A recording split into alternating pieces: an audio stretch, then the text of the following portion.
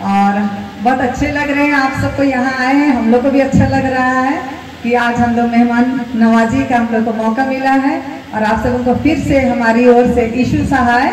और हम लोग अभी एक प्रभु की महिमा के लिए गीत गाना चाहते हैं। और जिनको आता है, सभी कोई ज़ोर से गाएँगे, ताली बजा करके ही गाएँगे। सुंदर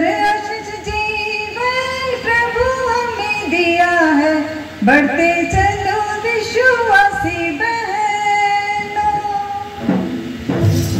सुंदर